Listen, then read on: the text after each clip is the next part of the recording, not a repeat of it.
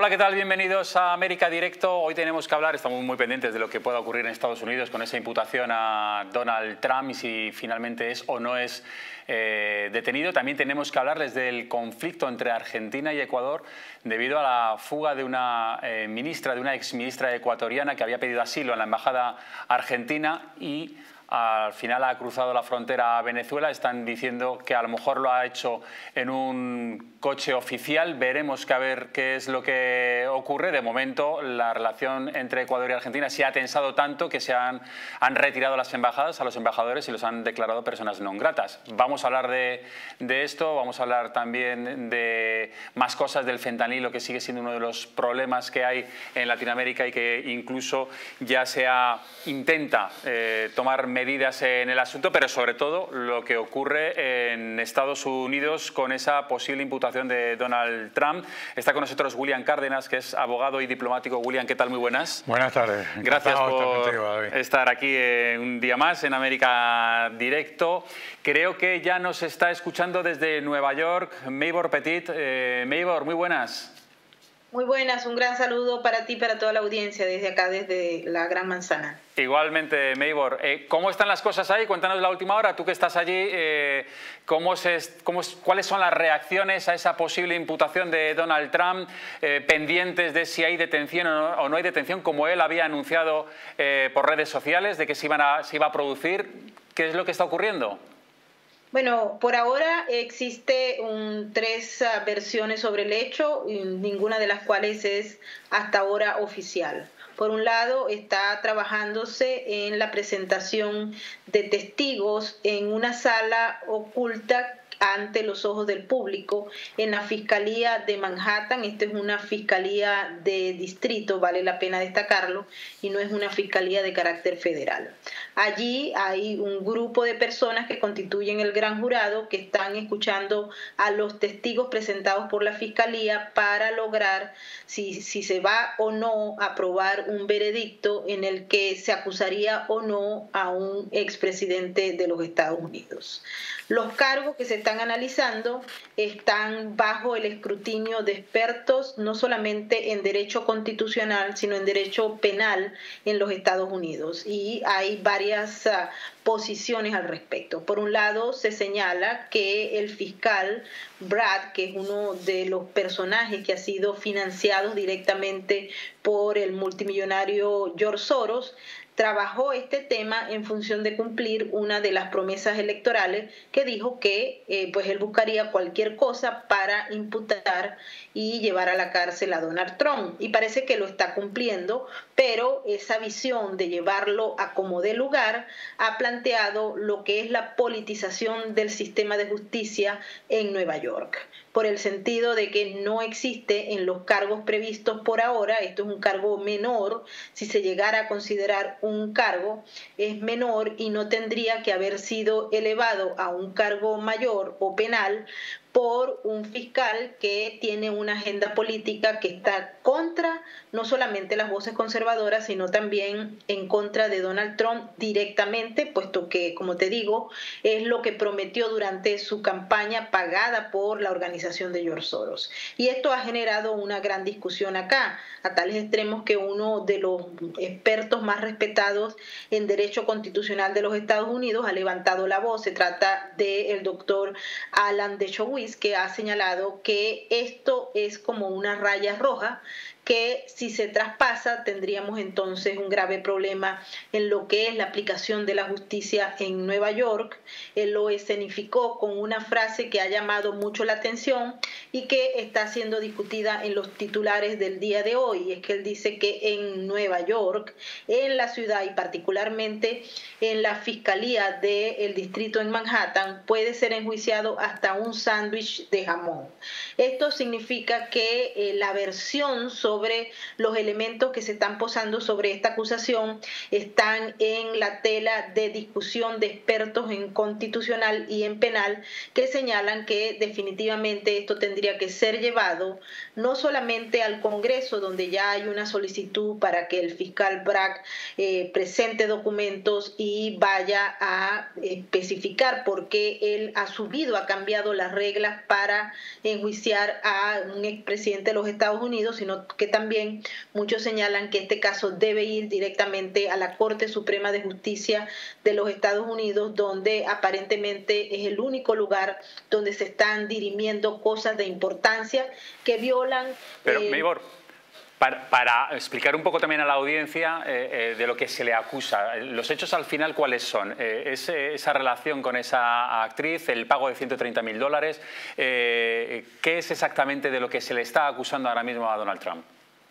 El fiscal acusa a Donald Trump, eso fue una relación que aparentemente, o al menos es una denuncia que hizo una artista porno en el año 2006 en Estados Unidos y particularmente en la ciudad de Nueva York hay lo que se llama Estatuto de Limitaciones, ¿ok? En el año 2016, en el plano de la campaña electoral que se realizaba en esa época, campaña presidencial, uno de los abogados de Donald Trump dice que él pagó 130 mil dólares para que esta mujer no hiciera la denuncia de un supuesto hecho que habría ocurrido en el año 2006. Esta señora eh, se convirtió en un blanco de apoyo por parte de los medios corporativos, incluso hasta escribió un libro. El expresidente Donald Trump negó la acusación desde el día 1, es decir, desde el año 2006 en adelante, pero donde entra el supuesto delito de menor es en el hecho de que en el marco de la presentación de cuentas, el abogado o ex abogado de Donald Trump, que se llama Michael Cohen, señaló que él pagó y luego se le reembolsó el dinero con como si fuera un cargo legal, es decir, como si él hubiese realizado una labor legal para la organización del expresidente Trump. Sin embargo, el abogado que sirvió de consejero legal cuando el señor Michael Cohen fue arrestado por haberle mentido al Congreso y por haber mentido ante varias de las autoridades, el abogado dice que él nunca vio eso, es decir, que él, él nunca ofreció esa información tal cual como la versión que está en estos momentos manejándose en la fiscalía. Y el ambiente, ah, eh, el ambiente que se respira ahora mismo en, en Nueva York, en Estados Unidos, ¿Es de que hay una posibilidad real de que Donald Trump pueda ser eh, detenido o, no se lo está tomando la sociedad tan en serio como para llegarlo a ver? Eh, te lo digo porque además, eh, no sé si por Estados Unidos, pero aquí por España circula incluso una fotografía que es, que es falsa, es una recreación, pero que había circulado como si hubiera sido un arresto real de Donald Trump. Bueno, eso no ha ocurrido, todavía ni siquiera se sabe cuándo va a salir el andaimen o la acusación. Se espera que sea hoy en la tarde o tal vez durante la semana.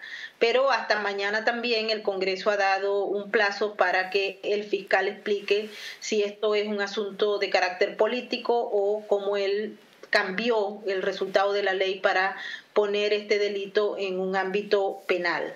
Es importante destacar que eh, un grupo de personas que siguen al expresidente 45 de los Estados Unidos se ha reunido, ellos dieron una rueda de prensa, son un grupo de jóvenes republicanos eh, en Nueva York, pero también hay que destacar que eh, Nueva York como tal tiene cinco condados, son demócratas en esencia.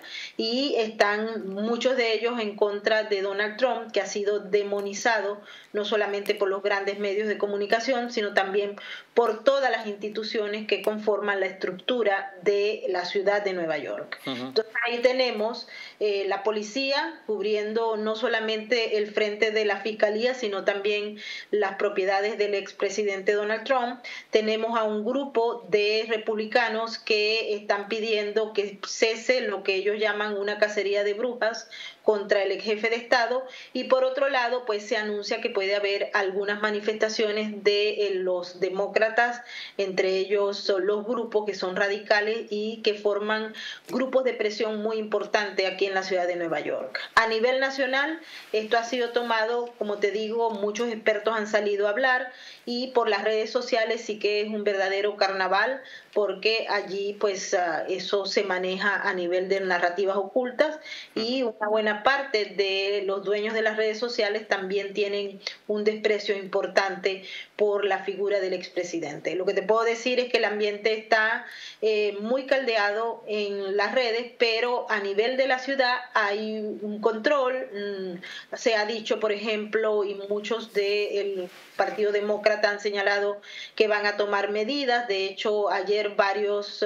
eh, miembros de la autoridad señalaron que iban a prohibir lo que se llaman los riots en inglés, que son como las protestas violentas o eh, los que han generado, por ejemplo, lo que ellos señalan como la toma del Congreso en el año 2021, y así para eh, prohibir de alguna manera que hayan manifestaciones de apoyo contra el ex jefe de Estado. Así que nosotros no sabemos exactamente cómo va a terminar este panorama. Lo que sí les puedo decir a esta hora es que el gran jurado está en discusión.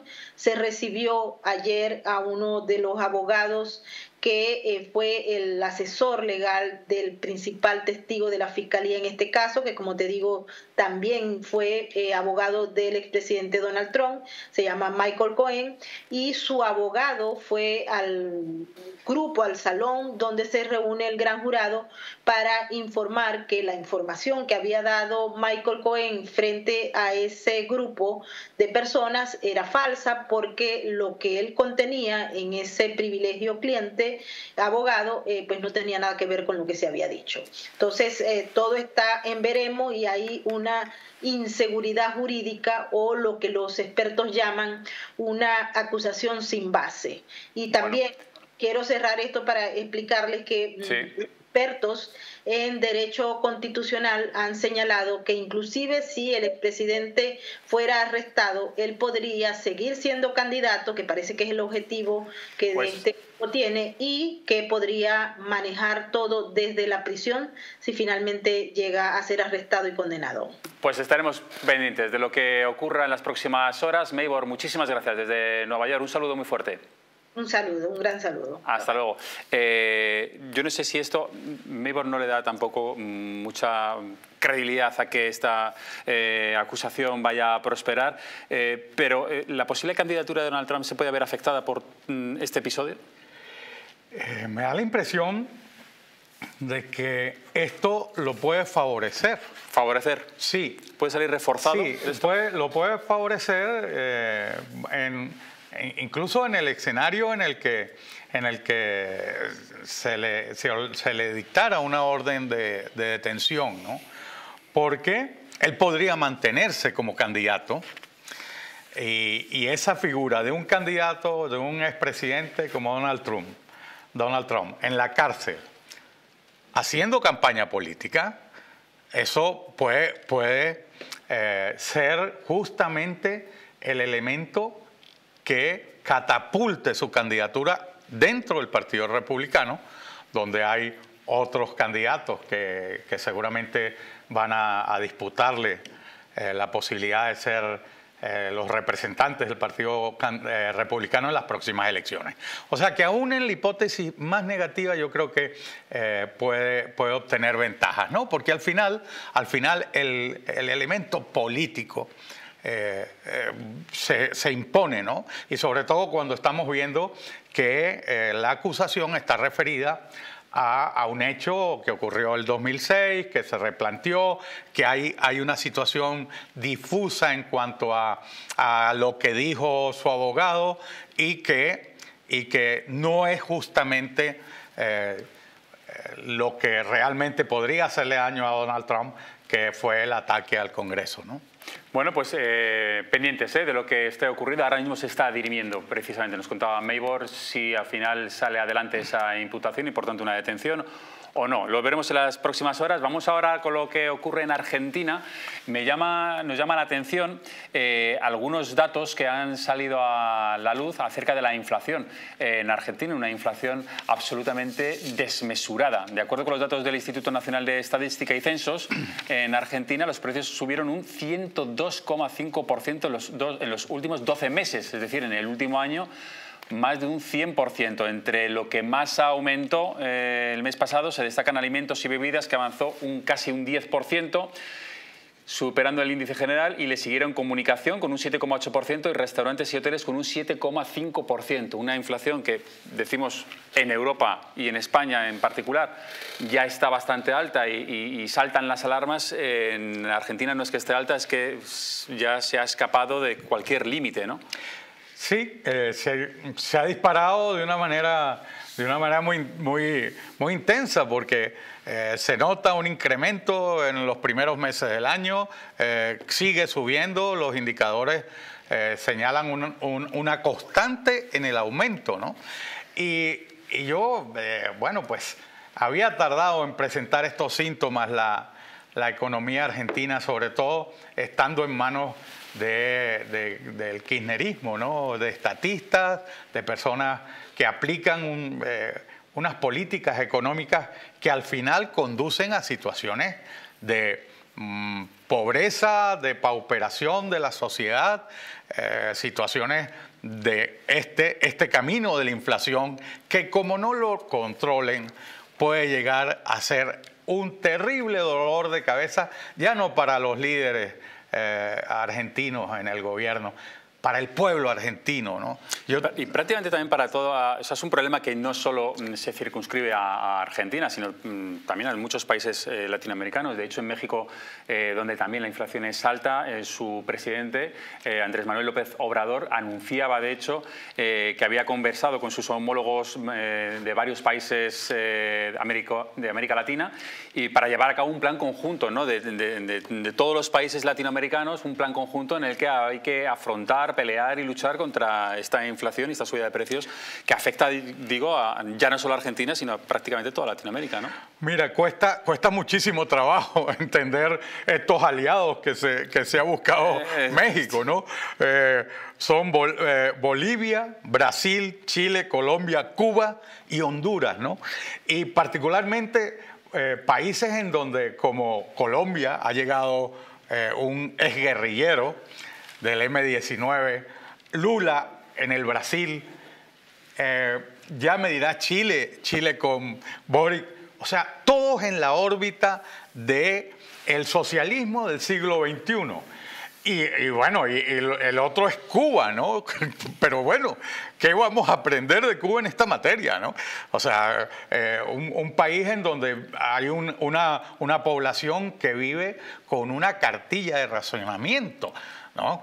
¿Qué, puede, qué puede eh, López Obrador obtener de las experiencias antagónicas? Claro, claro, y, además eh, dirigidas con este, con este tema del socialismo eh, del siglo XXI dirigida al fracaso. Esa es la gran preocupación que existe hoy desde el punto de vista geopolítico eh, en cuanto a, lo que puede significar esta década para América Latina. Podemos retroceder a escenarios que, incluso nos lleven más atrás del, principio de este siglo XXI, ¿no? porque el camino es de pobreza. El camino con lo que está haciendo Petro en Colombia, el, media Colombia ya está preocupadísima por lo que ha significado el, discurso de Petro. por un lado, el tema de la paz total y por otro lado, bueno, pues darle la espalda a la explotación de, los recursos petroleros, darle la espalda a una cantidad de, de aspectos de la economía colombiana que producen riqueza. Entonces, bueno, pues ¿hacia dónde vas? ¿Hacia dónde va Petro? ¿Hacia dónde va Lula? De Bolivia ni, bueno, yo creo que eh, terrible, una situación terrible en Bolivia, lo de, lo de Boric en Chile, eh, que, bueno, pues a estas alturas Boric no ha gobernado. es, impresionante. Un país, un país llegó al poder hace un tiempo y, Boric se dedicó al tema de, la, de la, modificar la constitución y aquello se, se, enredó en todo aquel proceso y Boric no ha empezado a gobernar. O sea, el país sigue estancado, el país sigue abandonado.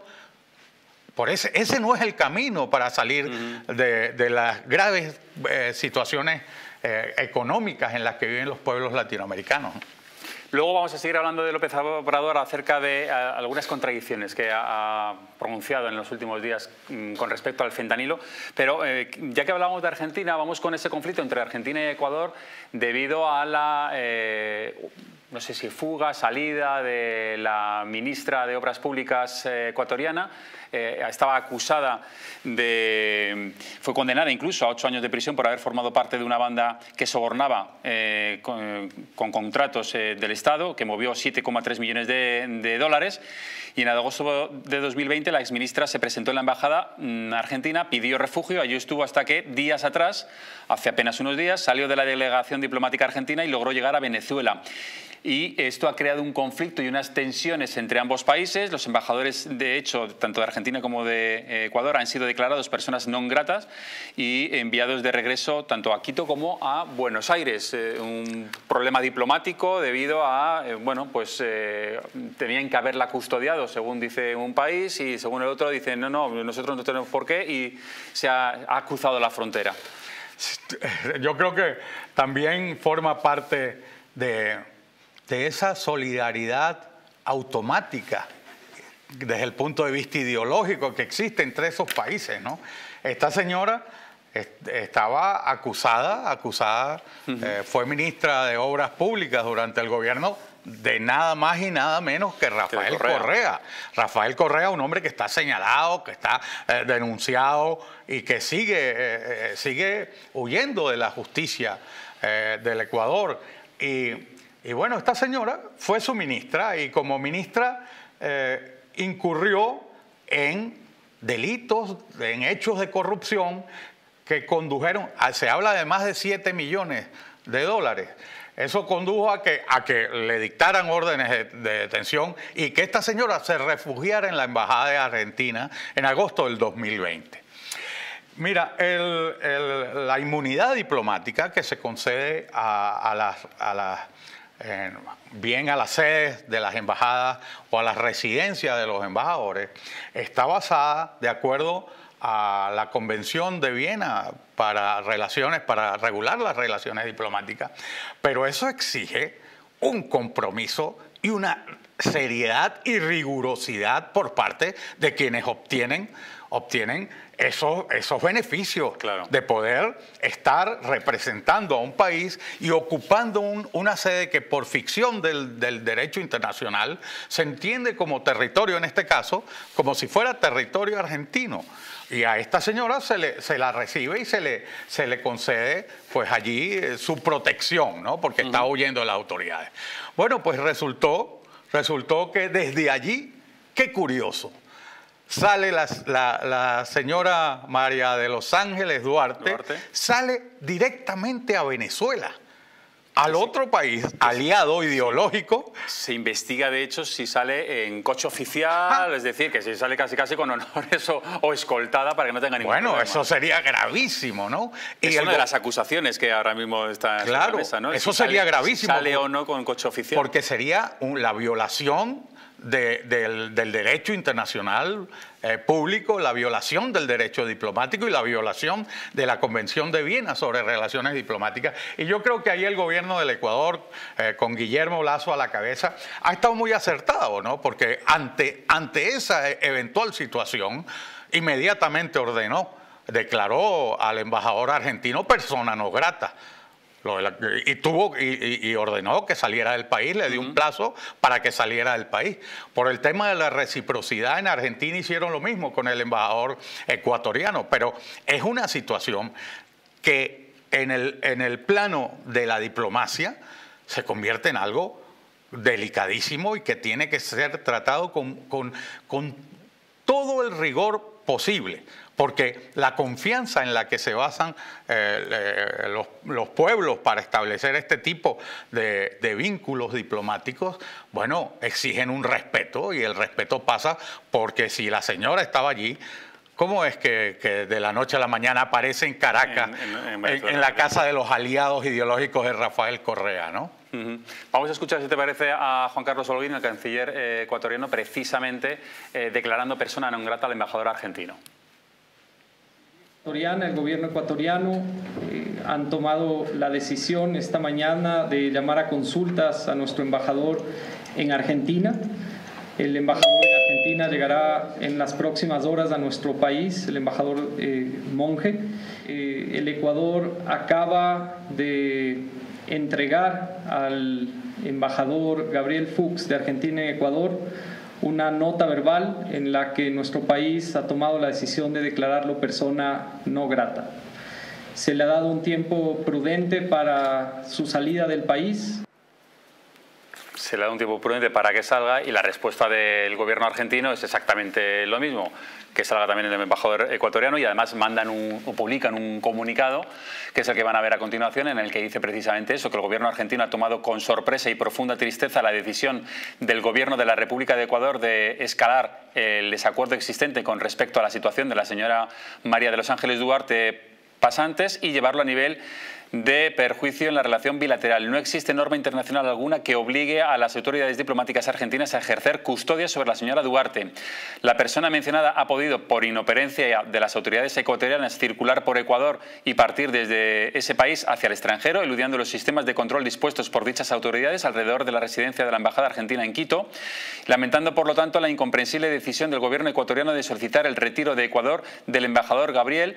Se ha decidido adoptar, por nuestra parte, la misma situación con respecto al embajador ecuatoriano en Argentina. Es decir, eh, dice, nosotros no tenemos por qué custodiar a la señora Duarte, eh, ha sido la inoperancia de las eh, fuerzas de, Ecuador lo que han permitido que salga del país y si vosotros retiráis a nuestro embajador, nosotros retiramos a vuestro embajador. Claro.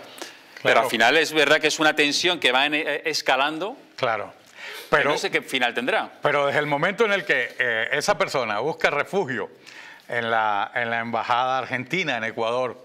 Y obviamente en estos dos, casi tres años, dos años y medio, este, eh, ha habido intercambio de, notas diplomáticas entre las dos, entre la embajada y el Ministerio de Relaciones Exteriores del Ecuador, en el que se ha solicitado eh, el salvoconducto para que esta señora saliera y el, y el gobierno ecuatoriano lo ha negado.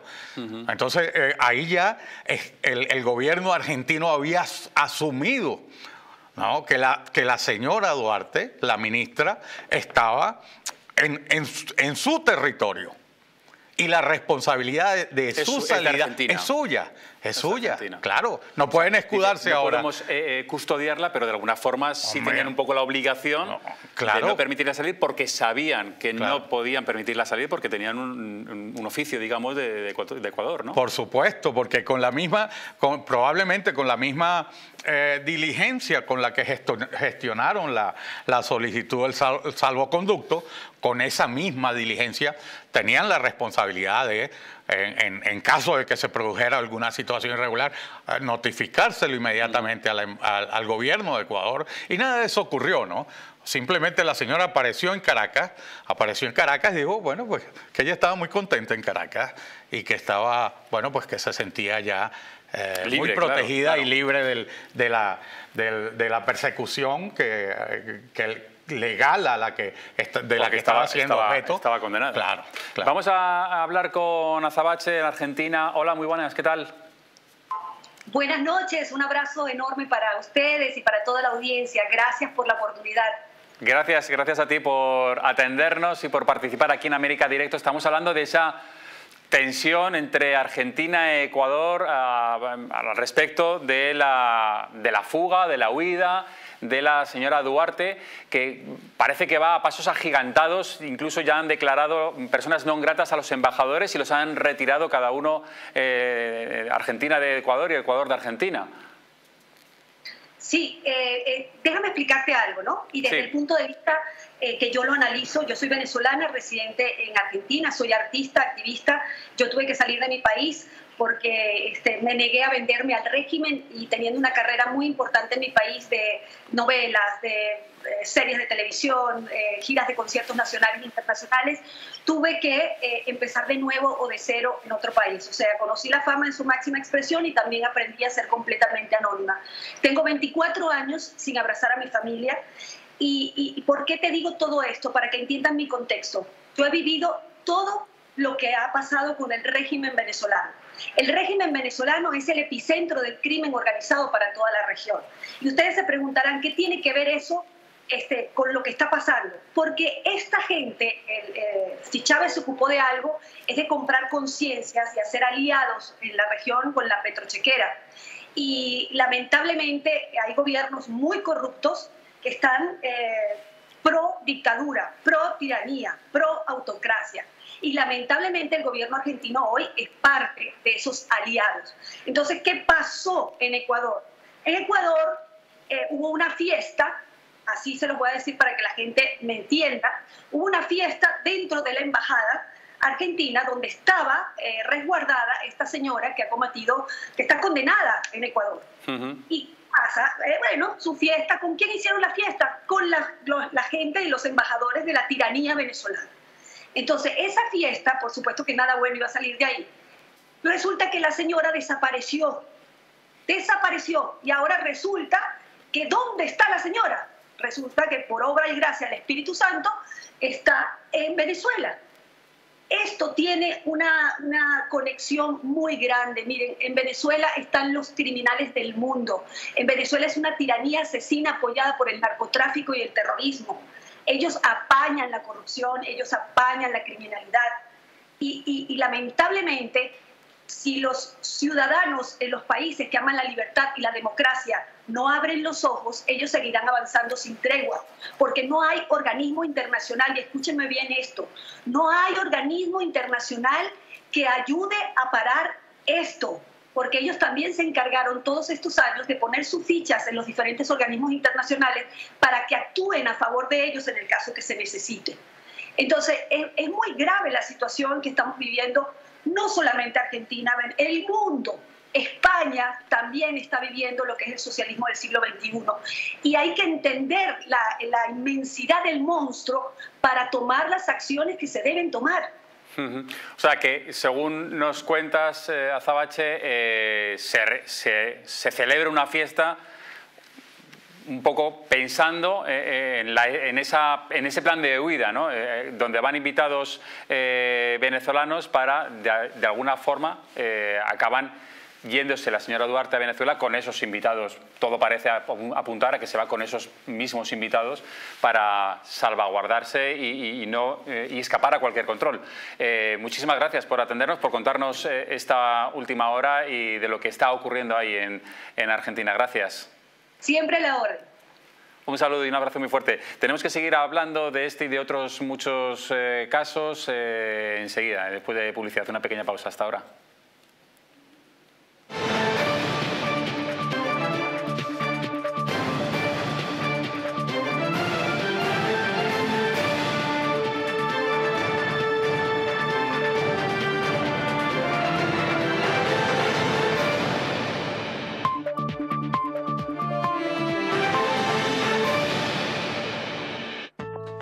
La presencia del colágeno en la composición de huesos, piel, ligamentos, cartílagos y tendones es imprescindible para frenar su deterioro.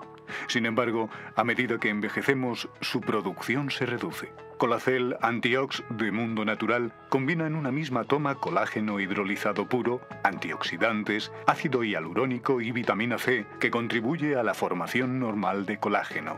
Haz del tiempo tu gran aliado, Colacel Antiox. Naturhaus es el mejor método para perder peso de forma saludable y sin pasar hambre. Desde la primera visita, una asesora te enseñará a cambiar tus hábitos hasta alcanzar tu peso perfecto. Lo conseguirás gracias a complementos alimenticios a base de extractos naturales y platos deliciosos. Llame ahora al 918 33 13 35 y le regalamos un test de intolerancia alimentaria o visítanos en Juan Bravo 55 y en naturhaus.es. Apúntate ya en tu centro Naturhaus más cercano y online a través de naturhaus.es. Naturhaus, 30 años de experiencia en nutrición y dietética. Economics, un programa en Distrito TV donde tendrás acceso a las últimas novedades en mercados, empresa, economía para España y el resto del mundo. Eh, un programa de economía hecho por economistas en Distrito TV todos los martes a las 21 horas. No te lo pierdas.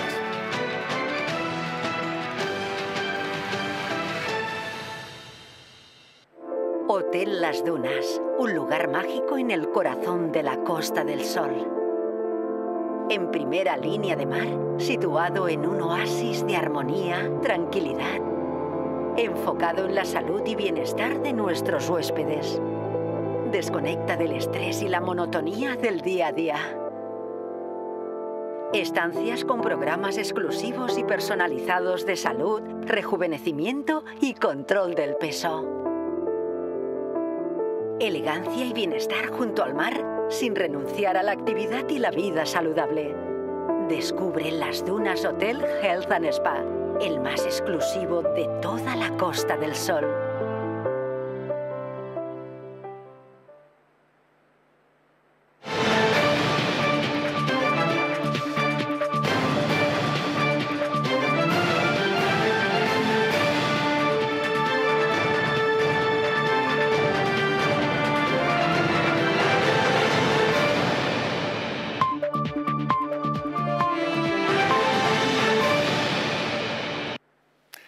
Seguimos en América Directo. Eh, vamos ahora con la crisis del fentanilo, esa crisis que se está viviendo en México, parte también de Estados Unidos, donde López Obrador eh, eh, echa la culpa a las autoridades estadounidenses y atención porque también llama la atención esto que dice Andrés Manuel López Obrador, dice que las familias de Estados Unidos son las principales culpables de la crisis de la sobredosis del fentanilo que sufre su país. Señala, dice que por la falta de abrazos y eso, claro, dice que ha provocado una adicción a esta droga que le quitó la vida a más de 70.000 ciudadanos en Estados Unidos en 2022. Es decir, que es un problema importante que tienen, pero claro, mm, sale diciendo el presidente mexicano, esto es un problema de falta de abrazos y yo no sé si eh, así se llega a la solución. Qué lamentable, qué lamentable que mira, una de las cosas graves que está pasando en Iberoamérica, no, no solo en, en toda Iberoamérica, es la falta de hombres de Estado al frente de, grandes países. México es un gran país, una gran nación, eh, con un pueblo extraordinario y maravilloso, que no se merece este, este señor. Eh, ese argumento que acaba de dar acerca de, los abrazos y, de la razón por la cual el, fentanilo llega a los Estados Unidos, eh, además de ser irrespetuoso con, su vecino del norte, el vecino más importante, el país más importante que tiene, que tiene en sus fronteras, bueno, pues eh, es lesivo a, la las víctimas incluso. A las víctimas, a las relaciones que existen. Entonces, qué, qué, pena, qué lamentable que exista que existe este tipo de de jefes de Estado, pero no solo pasa en, México, pasa en Colombia, pasa en Brasil, pasa en Argentina, lo estamos viendo, ¿no? O sea, es una situación en Cuba, bueno, en Nicaragua ya no, no, quiero ni, ni, ni, mencionarlo, ¿no? Eh, y, y bueno, se aleja, por supuesto, de la realidad, ¿no? De la verdad de la verdad que se convierte en un problema, un problema para, el, para un país vecino que está, que está sufriendo las consecuencias de la llegada de, de ese opiáceo que está causando muchísimas, muchísimas muertes. ¿no? Y claro, eh, no se llega a la solución con este tipo de declaraciones y sobre todo si no se intenta mm, o se intenta ocultar el problema. Cuando le preguntan a López Obrador acerca de la producción de fentanilo, él lo niega, aunque luego lo acepta. Vamos a escuchar esas dos contradicciones. Primero, niega, aquí no se produce fentanilo. Aquí nosotros no producimos fentanilo y nosotros no tenemos consumo de fentanilo. Sin embargo, escuchen otra vez al presidente mexicano cuando le dicen, oiga, eh, eh, se ha desmantelado un laboratorio, aquí sí, y entonces ya recoge velas. ¿Y en México no se produce fentanilo, señor presidente? No, es que es una materia prima que se trae de Asia. Pero aquí no hay laboratorios. Ah, no, sí. Sí, sí, pero esa materia prima, lo que se hace aquí, ¿sí? Y no este, es México, repito, el país que más introduce fentanilo a Estados Unidos. Yo sostengo que llega más fentanilo de manera directa a Estados Unidos y a Canadá que lo que llega a México. Entonces aquí lo que se hace es que se hacen pastillas, tienen un nombre, las troquelan, las troquelan. ¿Se produce o no se produce? Por un lado dice que no se produce, que eso viene de Asia, le dicen, oiga, hemos desmantelado el laboratorio. Bueno, sí, también, pero aquí se hacen pastillas. Es decir, que claro, si no ves el problema, es muy complicado solucionarlo. En, un, en un laboratorio incautaron 530 mil pastillas, ¿no? Y tenían capacidad para procesar más de un millón de pastillas de fentanilo. Entonces, eh, es, mentir de una manera tan, tan, tan burda y sobre todo tan irrespetuosa, ¿no? Y así es difícil eh, llegar a, a, una solución. Eh, vamos a Ecuador porque han ocurrido unos hechos últimamente que mm, preocupa bastante, sobre todo a los medios de comunicación. Eh, ha habido una amenaza a diferentes mm, periódicos, a diferentes canales de televisión. Hay un artefacto explosivo de pequeño tamaño colocado en una memoria USB. Estalló el lunes en el departamento eh, de noticias del canal ecuatoriano de televisión Ecuavisa, cuando el periodista y presentador Lenin Artieda, al que iba dirigido, estaba analizando ese dispositivo en, en su ordenador portátil y el comunicador no resultó herido, afortunadamente, pero el gobernador de, la provincia de Guayas eh, informó que los canales TC Televisión y Teleamazonas recibieron la semana pasada también sobres similares y dijo que claro, que están preocupados por esta situación y poco tiempo después eh, una radio, eh, Radio Exa de Quito también confirmó en Twitter que habían recibido prácticamente lo mismo, un paquete similar que fue llevado a la policía donde se confirmó que tenía una carga explosiva.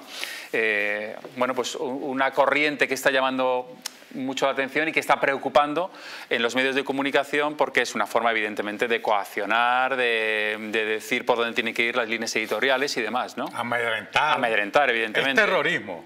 O claro. sea, esto es terrorismo. Eh, América eh, lo ha sufrido durante mucho tiempo y ahora ante, ante el cambio, el, cambio en, en la gobernabilidad y en la línea ideológica de un gobierno eh, ecuatoriano, bueno, pues empezamos a ver ya las manifestaciones de cómo se expresa eh, esta gente, ¿no? Cómo, cómo eh, utilizan estos mecanismos de, violencia, de coacción y de aterrorizar al, al adversario, ellos lo consideran enemigo político. O sea, el planteamiento en esos grupos... Eh, al final es uno de los pilares de una democracia, de, una democracia. De, la libertad de expresión. Pero la comprensión que tienen es, son enemigos, tenemos que destruirlos. Son enemigos, tenemos que derrotarlos, tenemos que vencerlos. Y, y, no, y no, ahí se olvidan todas las ideas democráticas porque se, se utiliza la violencia como instrumento para convencer, ¿no? Eso eso carece de cualquier tipo de, argumento sustentable. Claro, eh, la noticia es verdad que es eh, el presentador no sufre ninguna herida de importancia, resulta ileso, pero claro, el mensaje está dado. El mensaje no es eh, solo hacer daño al presentador, el mensaje es, ojo con lo que decís, ojo de lo que informáis, que aquí estamos nosotros y puede haber represalias y puede haber, consecuencias. ¿no? Y ese es pues, un atentado ya no solo contra la televisión, contra ese presentador, es un atentado contra la democracia y contra la libertad de expresión. Eh, en un país donde eh, se ha visto sacudido en los últimos días por un terremoto de magnitud 6,8, un terremoto eh, importante, el presidente de Ecuador, Guillermo Lasso, informó este domingo en un tweet publicado en Twitter, entre otras cosas, que su gobierno declarará el estado de excepción, sin restricción de derechos, tras el terremoto de magnitud 6,8 registrado este sábado. En su mensaje, el funcionario también actualizó la cifra de fallecidos, que asciende hasta los hasta las 14 víctimas y dijo que los heridos por causa del seísmo se mantienen en 461 personas. Vamos a verlo. El gobierno del Ecuador y del mío el presidente de Ecuador, Guillermo Lasso, ha anunciado el estado de excepción para hacer frente a las consecuencias del terremoto de 6,7 de magnitud en la escala Richter, que ha sacudido este fin de semana al país y que se ha saldado con al menos 14 vidas. Vamos a declarar el estado de excepción sin restricción de derechos a nivel nacional, a fin de facilitar y acelerar la contratación pública de las estructuras afectadas. Afortunadamente, hoy los bienes públicos tienen un seguro y haremos las gestiones necesarias para hacer los reclamos de rigor a las compañías aseguradoras privadas. Así lo ha anunciado el jefe del Ejecutivo en una decisión que incluye gestionar fondos de emergencia en los organismos multilaterales, así como la coordinación de acciones con los gobiernos autónomos centralizados en las provincias afectadas. Por el momento se han contabilizado 192 viviendas dañadas y 89 destruidas a causa del seísmo, así como la cifra de heridos ha aumentado hasta las 300 personas. Pues mucho, mucho ánimo a todas las víctimas, a los familiares y ojalá que eh, pronto se pueda recuperar la normalidad en Ecuador después de ese terremoto. Eh, por cierto, a partir de mañana eh, se celebra la cumbre iberoamericana en Santo Domingo, donde van a ir numerosos presidentes de gobierno, jefes de Estado de hecho, va Pedro Sánchez, presidente español, también va el rey de España, va Felipe VI. Se van a tratar a tratar cuatro grandes temas, el de la digitalización, la alimentación, el medio ambiente y la economía. Nos está escuchando Manuel Zalba desde allí, desde República Dominicana. Hola Manuel, ¿qué tal? Muy buenas. ¿Qué tal? Muy buenas noches aquí desde Santo Domingo y precisamente en un lugar privilegiado que es el Palacio Presidencial aquí en la capital. Encantado de saludarte. Muy bien, pues estupendo. Eh, eh, ¿Qué se espera de, de, esta cumbre que se celebra, que se celebra ahí donde estás? Bueno, esta cumbre iberoamericana es la primera después de que no solo haya acabado el coronavirus, sino que además desde que haya cambiado radicalmente la mayoría del entorno político de los países iberoamericanos. Ya domina la izquierda, va a ser, pues desgraciadamente, una fiesta de la izquierda iberoamericana en la que va a participar Pedro Sánchez recién salido de esta moción de censura y la verdad que muy triste porque son solo cuatro, escasamente, los países iberoamericanos que se salvan de esta dictadura social comunista que está arrasando Iberoamérica, que pueden ser Ecuador, Guatemala, Uruguay y el país en el que nos encontramos, República Dominicana. Ya se ve además en el entorno de los temas que se van a tratar aquí, que es la seguridad alimentaria, la equidad, la igualdad de género, pero obviamente todo ello desde el prisma de la Agenda 2030 y la izquierda radical. Eh, me imagino que el dispositivo es eh, impresionante, el que se habrá montado allí en, Santo Domingo. ¿Hay ausencias significativas? ¿Va a haber ausencias significativas? Bueno, eh, Santo Domingo es una ciudad blindada. Están, como te digo, llegando hoy ya los presidentes. Se celebra también, además, paralelo al encuentro de presidentes, el encuentro empresarial en los que vienen los presidentes de las principales empresas, Iberia, Iberdrola, Endesa, viene también obviamente el presidente de la COE, Garamendi, o sea, que se mezclan tanto los líderes empresariales como los políticos en apenas tres días, pues en una ciudad como Santo Domingo, que obviamente si no se blinda, pues no guarda pues, los requisitos necesarios para tener una cumbre de estas características, pero que, además, pues por suerte, está siendo un privilegio cómo se está desarrollando toda esta infraestructura. Ausencias, eh, la que está además en entredicho es si por fin viene Maduro a una cumbre iberoamericana o no.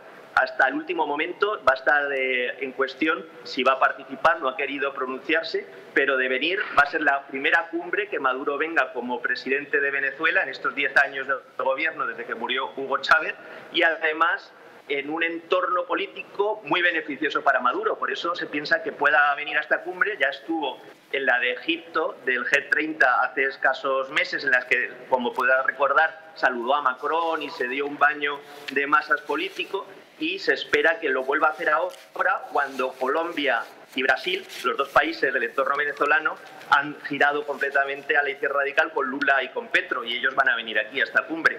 Entonces, eh, la verdad que va a ser tres días de bastante incertidumbre, de mucha adrenalina política y sobre todo además en un espacio iberoamericano que en la última cumbre de, la que se celebró en Andorra en el 2021, la de Guatemala de 2018, va a ser completamente diferente por los líderes políticos del Foro de Sao Paulo, actualmente Grupo de Puebla, que se van a citar aquí. Manuel, ¿crees que se tratará el tema de la guerra de Rusia, de la guerra de Rusia y Ucrania o no? Puede ser, realmente los temas eh, que se van a tratar, según se ve en los paneles eh, de la agenda oficial, como te decía, son eh, muy, muy heterodoxos, muy vinculados a la Agenda 2030. Preocupa ese que te mencionaba anteriormente de la agenda alimentaria, cómo quieren influir en la, en la alimentación de los países iberoamericanos. Eso lo vamos a seguir con especial atención pero eh, obviamente la política internacional y lo que está sucediendo en Ucrania pues será eh, algo que, va a estar sobre la mesa. Además, teniendo en cuenta que Rusia tiene un poder en la región muy grande, eh, no podemos olvidar la relación que tiene Rusia con Venezuela, con Cuba, actualmente también con el gobierno de Petro en Colombia. Entonces, sin duda, va a ser muy curioso porque se va a mezclar esa Agenda 2030 globalista de la Unión Europea con ese apoyo que muchos de estos países de izquierda radical dan a Rusia y no a Ucrania. Manuel Salva, muchísimas gracias por contarnos la última hora desde allí, precisamente desde Santo Domingo, donde mañana se celebra esa importante cumbre iberoamericana. Gracias, un saludo. Será un placer contaros todo lo que suceda desde aquí. Un abrazo. Muy bien, hasta luego, un abrazo. Eh, William, ¿qué, esperas tú de esta, de esta cumbre iberoamericana? Eh, David, desde, estaba haciendo memoria y desde el año 2007, eh, de aquella cumbre en Santiago de Chile, cuando ocurrió el episodio entre Hugo Chávez y, el rey, Juan Carlos, del ¿por qué no te callas? No se producía una cumbre iberoamericana eh, con tan marcada desde el punto de vista político, ¿no? En este caso, en este caso lo describía perfectamente Manuel Sayas, o sea, esta, más que una cumbre iberoamericana, va a ser una cumbre de la internacional socialista, de la internacional socialista, y, porque de hecho va su presidente, que es el presidente del gobierno español, Pedro Sánchez, ¿no? Pero va a estar en un entorno en donde lo que marca la ruta es lo que prevalece ideológicamente ahora mismo en, buena parte de Iberoamérica, que es el socialismo del siglo XXI. Pero eh, hay que estar muy atentos, hay que estar muy atentos. Y en relación a, la eventual visita de Nicolás Maduro y la asistencia de Nicolás Maduro, yo realmente, aunque sería un escenario ideal para, para darse un, lavado de imagen y, bañarse, bañarse en, popularidad, que tendrá seguidores seguramente, eh, que, lo, que, lo arropen, ¿no? Este, Maduro tiene problemas muy serios en Venezuela.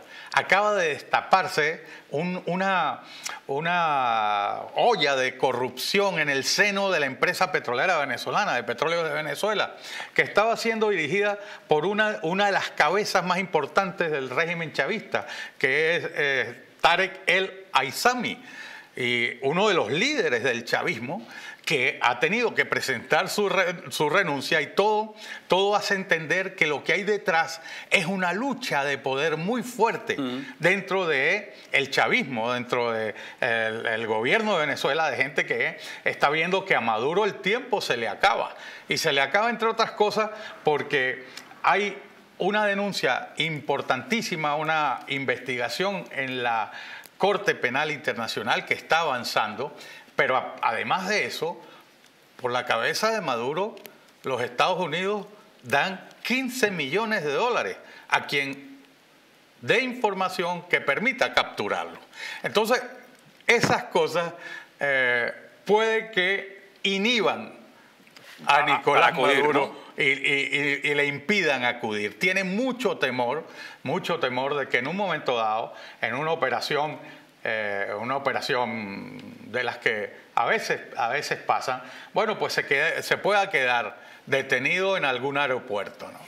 Y para él, bueno, pues eso, ese sería, el, riesgo es, muy grande, ¿no? Y yo creo que es suficiente como para, para no estar allí en esta fiesta en esta fiesta del, del el Foro de Sao Paulo, del Grupo de Puebla y del Internacional Socialista. Bueno, veremos a ver esa cumbre iberoamericana. Quiero que vean una imagen que ha ocurrido en Colombia antes de despedirnos. La caída de un helicóptero es esta, vean. Se cayó, ay, se cayó. Ay, se cayó el helicóptero. Se cayó, boludo, se cayó un helicóptero. Ay, ay, no. Ay, boludo, se cayó un helicóptero. Imágenes espectaculares, desde luego, de esa caída del, del helicóptero, como eh, era del, del, ejército. Eh, los ocupantes eh, perdieron la vida en el, en el mismo instante de, de, ese accidente, que perdieron el control y acabaron también perdiendo la vida. Bueno, queremos mostrarles también esa, esa imagen impactante. Hemos llegado al final. William, muchísimas gracias por muchísimas estar otro gracias, día más aquí en, en América Directo. Gracias a ustedes también por estar un día más. Les esperamos la semana que viene, como siempre, aquí en América Directo. Hasta entonces, adiós.